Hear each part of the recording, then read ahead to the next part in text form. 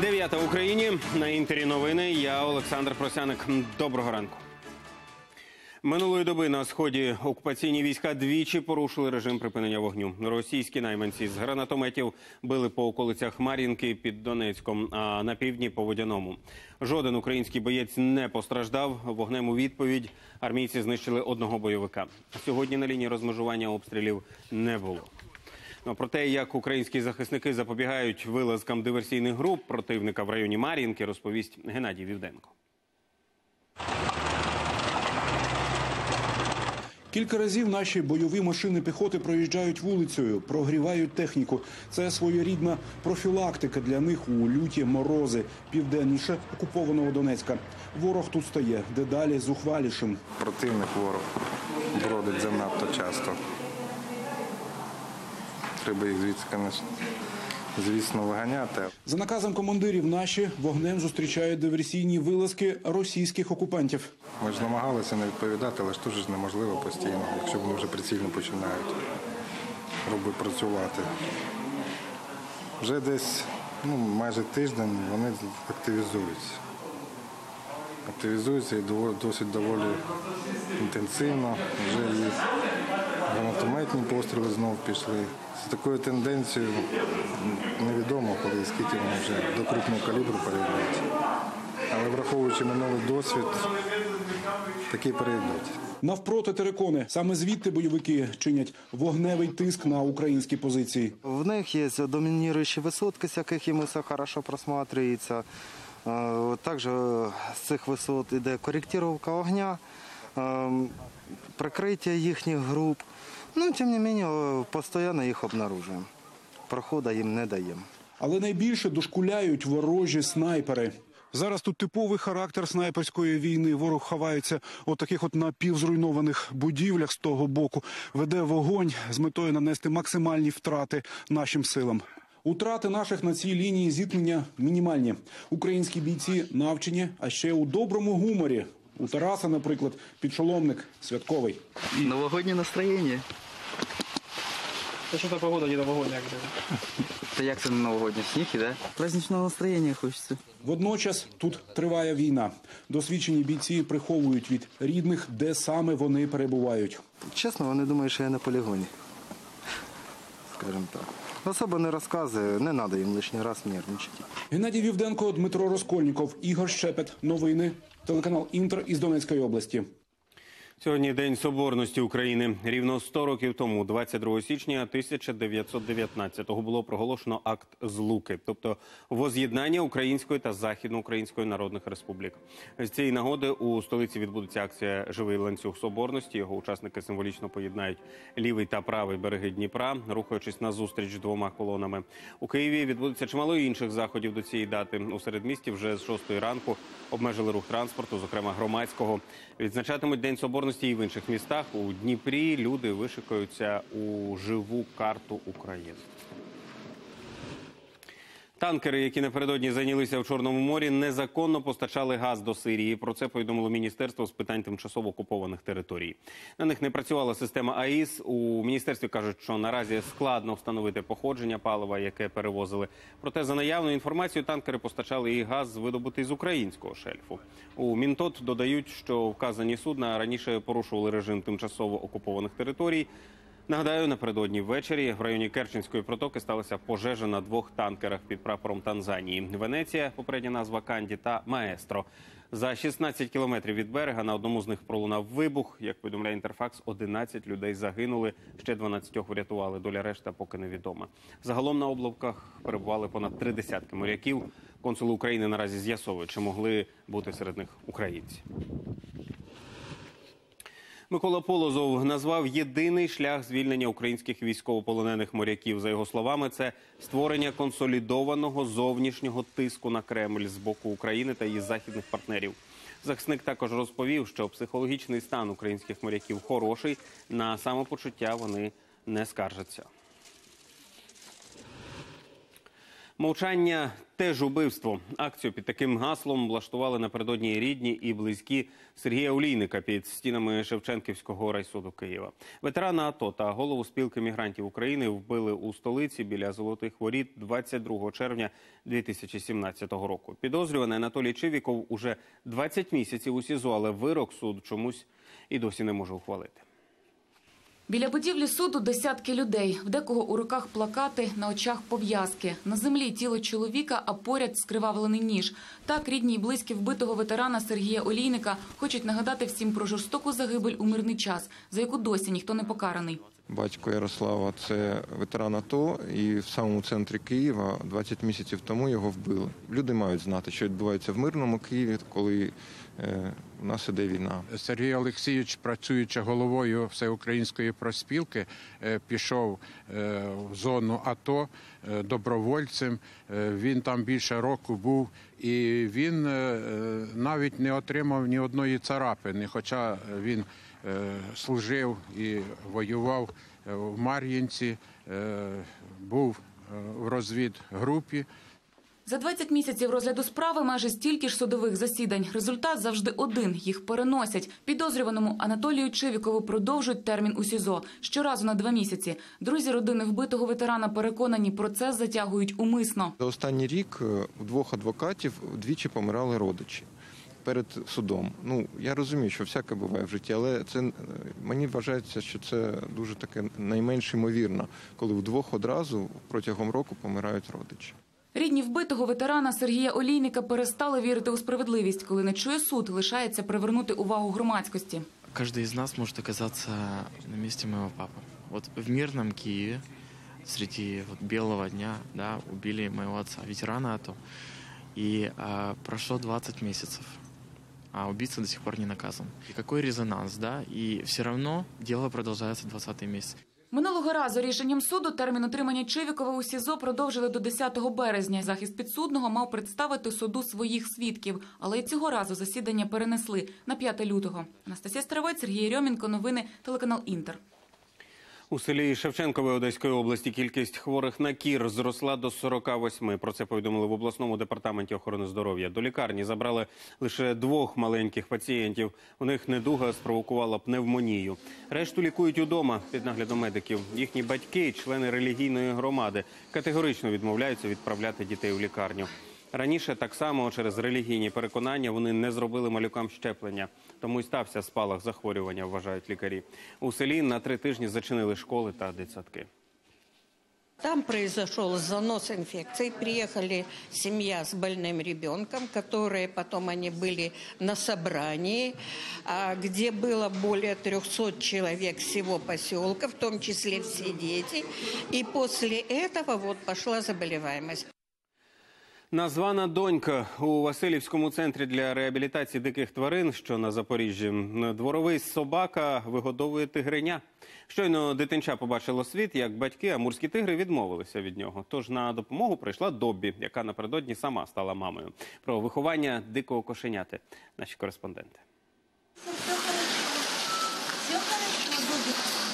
Все хорошо. Вот она. Родинну ідилію двох цуценят і тигриняти довелося порушити заради телезйомок. Ця картонна коробка – тимчасовий притулок для новонароджених. Сюди дикі кошеня принесли тиждень тому з вольєра. Господарі звіринцю, кажуть, були неабияк здивовані несподіваною знахідкою. И в зимнем помещении, куда прячутся от холода и сырости тигры, когда мы начали менять подстилку, мы обнаружили в кучке соломы вот эту вот маленькую кроху. Виявилось, тигриця не хоче годувати дитинча. Дикі кошеня залюбки прихистили біля себе добі. Кілька років тому безпритульна тварина сама прибилася до звіринцю. Тепер, кажуть господарі, собака віддячує. Вся истощенная такая жалкая собачка. Было ее безумно жалко, и вот сейчас нам она отдает свою любовь и нежность вот этому малышу. Теперь, мне кажется, это одна из самых любимых ее дочек. Как видите, она вот с тревогой смотрит, не обидим ли мы ее. Зі своїми молочними сестрами дике кошеня поки що ладнає. А ось чи триватиме дружба між тигром та собаками і далі, кажуть, подивляться. І пригадують, як на початку створення звіринцю їхніх перших підопічних левів Самсона та Катю виховувала кішка. Вот когда и Катя, и Самсон были уже взрослыми, кошка могла свободно заходить к ним в вольер и вместе с ними кушать мясо. Зараз молока у тобі вистачає, тож тигриня упевнено набирає вагу. Чем больше, чем дольше, тем лучше, конечно же, хочется, чтобы у нашей Доби было молочка побольше. Ну, хотя бы месяц, хотя бы месяц, пока прорежутся зубки у малышки и начнет принимать понемножечку мяса. Ім'я тигриняті ще не давали. Вирішили не поспішати, нехай підросте і проявить свій характер. Ольга Клюєва, Сергій Бордюжа, Ігор Воробій. Новини телеканал Інтер. Запорізька область. На Кіровоградщині через снігопад та перемети на дорогах рятувальникам довелося звільняти зі е, снігового полону автівки. В області насипало до 10 сантиметрів снігу. Проїзд ускладнений у п'яти районах. Там співробітники ДСНС витягли три десятки машин, більшість з яких вантажівки.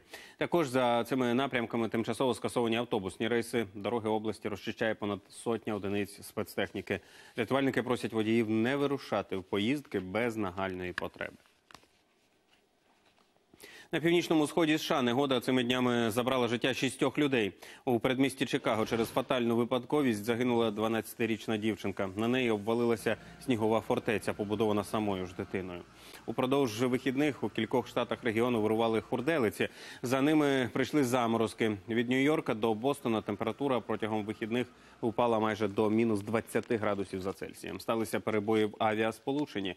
У неділю по всій Америці затримали 14 тисяч рейсів. Напередодні 7,5 тисяч. Та вже найближчим часом синоптики прогнозують потепління. Завалило снігом і гірські райони на півдні Польщі. У селищі Лялики будинки засипало по перший поверх.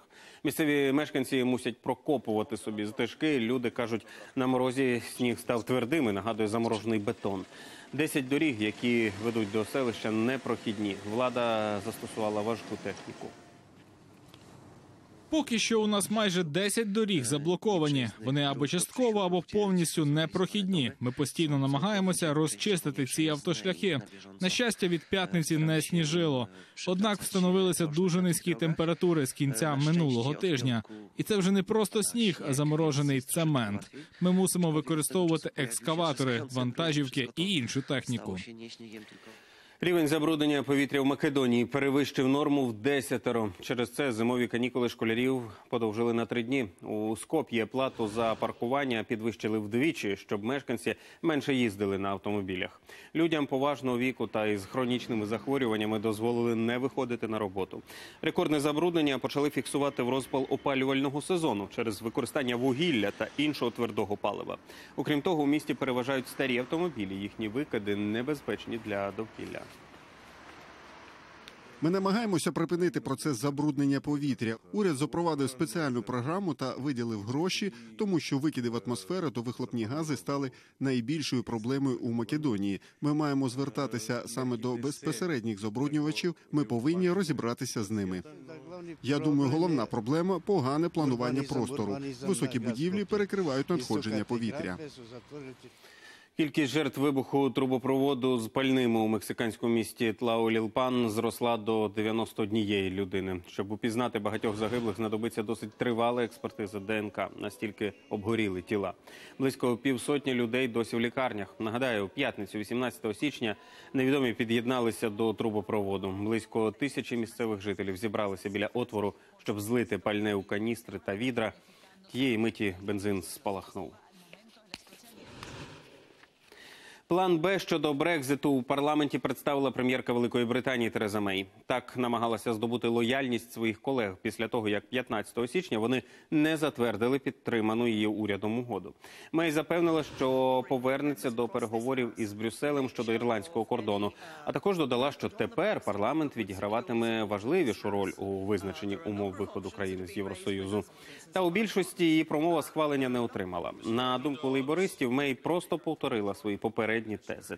Голосуватимуть за новий план у палаті громад наступного тижня у вівторок, 29 січня, рівно за два місяці до ймовірної дати виходу Британії зі складу ЄС.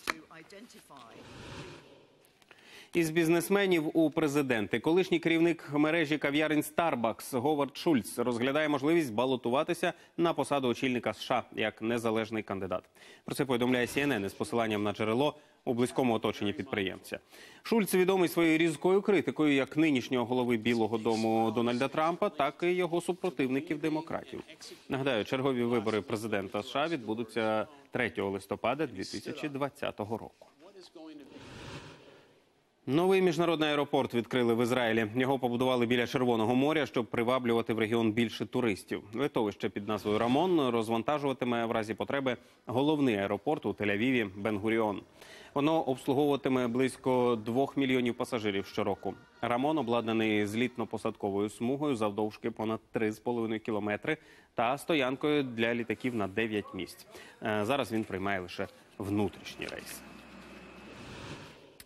Колективний день народження відсвяткували діти біженці із Канзас Сіті. Більшість із них гадки не мають, коли народилися та ніколи не відзначали цей день. Порадувати їх вирішила місцева громадська організація. Як усе було, розкаже Віталія Кушмирук.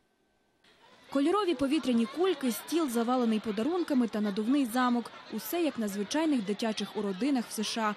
У Канзас-Сіті для усіх місцевих дітей-біженців одночасно влаштували день народження в американському стилі. Спільне свято уже четвертий рік підряд організовує громадська служба «Делла-Лем».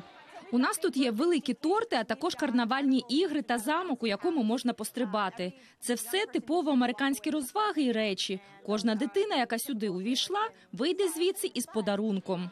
На свято прийшли діти із сім'ями, які колись жили в Конго, Судані, Сомалі, Сирії та Бутані. Майже всі не знають, коли у них день народження. До США мігранти потрапили без документів, а на батьківщині їхні уродини взагалі могли не святкувати.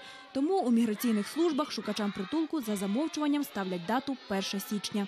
Вечірка призначена для тих, хто приїхав у цю країну і не має зафіксованого дня народження. Ми намагаємося цього холодного січневого дня влаштувати святкування іменин для багатьох людей, які напевно ніколи не мали можливості просто розважитися на звичайній вечірці в американському стилі. Організатори кажуть, хочуть не лише порадувати біженців, а й допомогти їм інтегруватися у суспільство. Все добре, тому що на святі зібралися люди різних країн, культур та релігій. Ніхто не концентрується на тому, звідки ти або яку релігію сповідуєш. Усі ради поспілкуватися та насолоджуються святом. Це свято свідчить про те, що нас тут раді бачити, і ми частинка усієї громади. Подарунки та гроші для іменинників приносили місцеві жителі. Окрім того, під час самого свята вони влаштовували розваги для дітей, загортали пакунки та розставляли декорації. Віталія Кушмирук, новини, телеканал Інтер. У китайській провінції Юньнань поліцейські затримали страуса за порушення правил дорожнього руху. Птах бігав дорогою і заважав проїзду автотранспорту. От водії викликали патруль. Правоохоронці затримали порушника та повернули його господареві. Минулося без кайданків. Як розвиватимуться події, дізнаєтеся вже о півдні. А в мене поки що все. Гарного вам дня і до зустрічі завтра зранку.